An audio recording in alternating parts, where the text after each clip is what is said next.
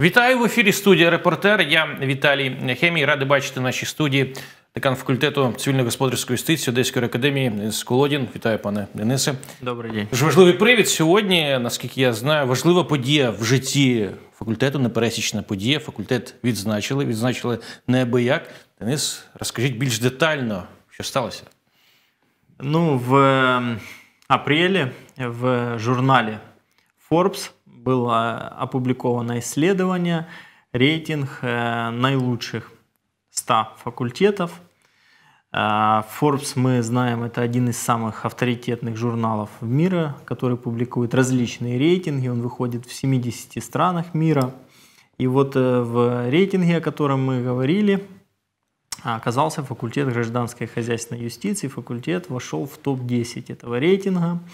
И сегодня это есть большим достижением для всех, и для студентов, и для преподавателей э, факультета, то, что мы находимся на такой высокой позиции. Які показники бралися в першу чергу, щоб е, сформувати цей рейтинг? Ну, э, была очень удачная, как мне кажется, система оценивания, потому что брались те критерии, которые объективно можно оценить э, каждый из факультетов. В первую очередь это учитывался э, средний балл сертификата внешнего независимого оценивания тех, кто поступил отдельно на контракт и отдельно тех, кто поступил на бюджет. Рейтинг университета, инфраструктура э, факультета, то есть материально-техническая база. Ну и, конечно же, экспертная оценка. 47 экспертов оценивали все факультеты. На вашу думку, що саме стало найважливішим чинником, щоб вдало, щоб ви потрапили саме в цю просто рейтинг, а навіть десятку? Ну, вы знаете, для меня это была огромная неожиданность.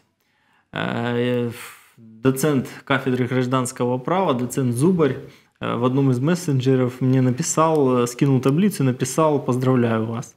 Я говорю «Спасибо, но с чем?» Говорит, вы теперь в Forbes, факультет гражданской и хозяйственной юстиции, в рейтинге лучших факультетов нашей страны. И вы знаете, здесь говорить, как попасть в такой рейтинг, э, это большой труд. Труд не одного дня, и вот именно коллектив факультета э, таким образом развивается и работает. И э, президент университета Сергей Васильевич Кивалов всегда на это ориентирует, для того, чтобы всегда внедрялись самые инновационные вещи, которые сегодня существуют. Но вот составляющими этого успеха, я считаю, есть первое, и мы об этом говорили с вами в предыдущих эфирах. Первое, это, конечно, учебный процесс и качество учебного процесса. Это э, трудоустройство наших выпускников, потому что каждый из работодателей знает, что если это выпускник факультета гражданской и хозяйственной юстиции, то это человек с качественными знаниями, который будет их показывать на практике, и таких выпускников работодатели с удовольствием принимают.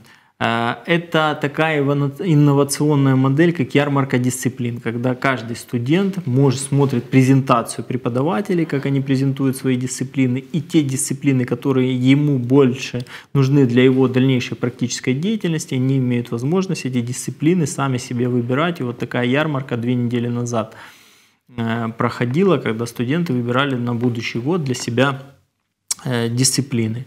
Это международные учебные визиты, когда более 50 человек с факультета отправляются в ведущие институции Европейского Союза, где они слушают лекции специалистов, которые там работают, после чего получают соответствующие сертификаты. Это тоже очень важная составляющая. Также э, важная составляющая это э, и материально-техническая база, которая у нас есть, которая трудами и усилиями нашего лидера Сергея Алексеевича Кивалова устроена. Об этом знают все наши и абитуриенты, и все, кто связан с университетом, ну и, конечно же, составители этого рейтинга.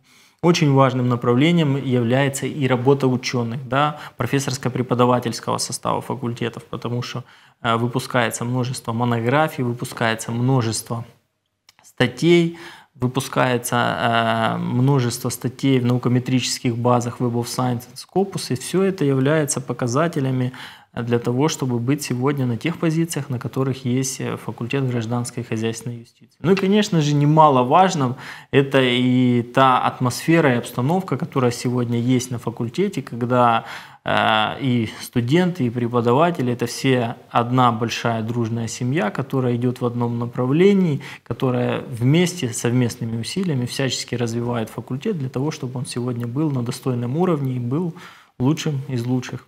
Ваш факультет з юракадемії єдиний в цьому рейтингу? Э, да, в этом рейтинге только факультет гражданской и хозяйственной юстиции. И э, ну, фактором для этого стало, наверное, вот те вещи, о которых мы говорили только что, которые являются инновационными и которые есть только на факультеті гражданської і хозяйственної юстиції. Дійсно, це важливо. А якщо говорити про а, Одесу, взагалі, чи є ще факультети, які також були відзначені а, Таким авторитетним виданням?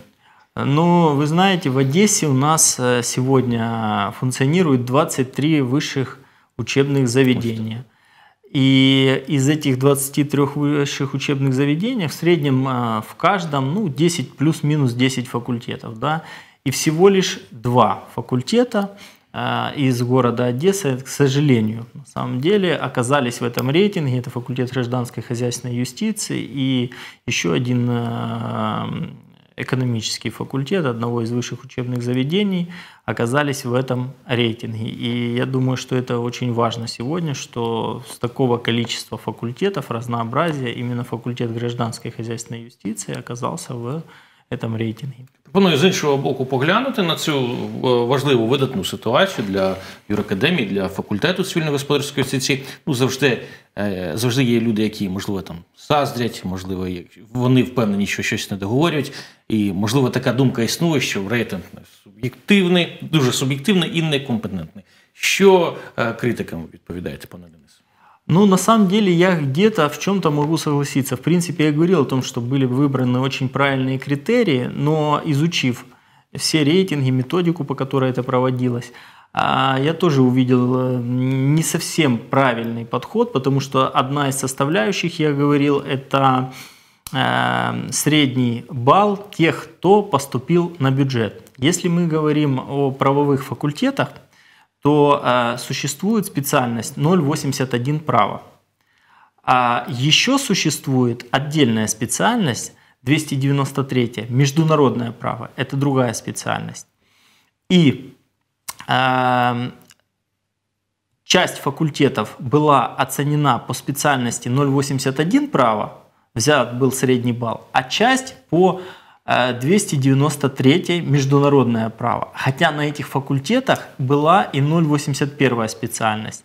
В чем здесь э, разница? В том, что э, на между... Э, вы знаете, у нас государство устанавливает сегодня проходной балл на бюджет, минимальный проходной балл для бюджета. Если на право он был минимальный 185, то для международного права в прошлом году он был 195. Соответственно, туда поступило меньше людей, потому что ну, меньше людей с таким проходным баллом. Но средний балл оказался выше, а для рейтинга брался как раз-таки средний.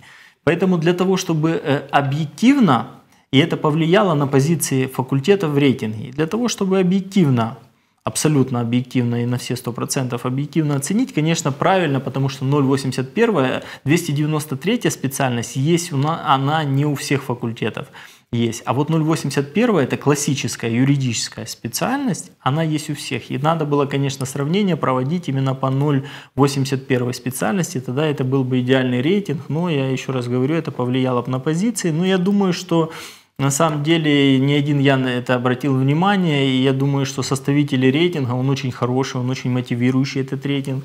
И я думаю, что эта тенденция продолжится, и каждый год журнал Forbes будет публиковать соответствующие рейтинги, и при формировании в последующем они учтут, наверное, вот э, этот маленький нюанс и таким образом дадут абсолютно объективную картинку для того, чтобы ни у кого вообще не возникало никаких сомнений, хотя, я же говорю, за, за этим маленьким исключением я абсолютно согласен с тем, что сегодня есть. Це вагомий плюс до вступної кампанії 2021, ця подія, це рішення експертів. Ну, я скажу, это не просто плюс, это огромный плюс, потому что э, Я знаю, у меня ну, есть э, в приемной комиссии эти журналы у нас находятся, находятся у меня в кабинете. Вот абитуриенты, когда приходили, открывают, все знают, что это за журнал, открывают, смотрят, когда видят, что факультет находится в этом рейтинге, он один из лучших, это является дополнительной мотивацией когда появилась новость в соответствующих социальных сетях, многие абитуриенты, которые колеблились, сомневались, они изъявили свое четкое желание, что они пойдут на факультет гражданской хозяйственной юстиции, потому что ну, наше главное правило, хочешь быть лучшим, выбирай лучших. И вот именно таким образом поступают наши абитуриенты, и я думаю, что ну, факультет гражданской хозяйственной юстиции является лидером вступительной кампании на протяжении трех последних лет, а вот еще с такими дополнительными успехами мы будем наращивать обороты и, не сбавляя их, э, достигать все тех же высот – и оставаться лидерами вступительной кампании, но с более продуктивными результатами. Ну и будем работать над тем, чтобы э, повышать те показатели, которые учитываются в рейтинге, именно э, средний балл сертификатов ЗНО, которые тоже влияют на рейтинг. И мы теперь особое внимание этому будем уделять. Тобто особливе відчуття у керівника такого підрозділу юракадемії, коли знаєш, що твій факультет в топ-10 е, в країні, ну ще це більш мотивує працювати і далі, робити такі новаторські процеси і за собою підтягувати весь колектив. Ну, вы знаете, вот чувство удовлетворенности, это мало сказано, реально это круто. У меня других слов не находится, потому что, учитывая, что в, у нас в стране функционирует сегодня около 300 вузов, да, мы говорили, если брать, э, что в среднем вузе это около 10 факультетов, это 3000 факультетов. 128 эм, факультетов готовят специалистов по специальности 081 право. И быть на вершине этого всего, ну, это, конечно, почетно. Я Э, знаете, почувствовал и увидел, как этим прониклись студенты. Когда они увидели эту новость э, в социальных сетях, они начали делать репосты, выкладывать себе э, на странице. Они начали хвалиться перед своими там бывшими одноклассниками, соседями, друзьями, говорить, смотрите, я учусь на факультете, который входит в топ-10 лучших факультетов эм, в нашем государстве, и вы знаете, это, наверное, правильно, и их переполняло чувство гордости и переполняет чувство гордости, но э, здесь пока э, останавливаться не нужно. Ніколи не треба зупинятися. Да, и нас э, всегда так ориентирует наш руководитель Сергей Васильевич Кивалов, поэтому мы будем идти, стремиться и делать все для того, чтобы оказаться на вершине этого рейтинга, и я думаю, у нас все получится. Успіхів вам, пане Денисе, вашій е, команді. Не останній раз. Я бажаю, щоб потрапили в цей рейтинг е, працювати. У вас добре виходить. Е, всього найкращого всьому факультету цивільно-господарської юстиції. Дякую. Залишайтеся на телеканалі Репортер. З вами був Віталій Хемій. До наступних зустрічей в ефірі.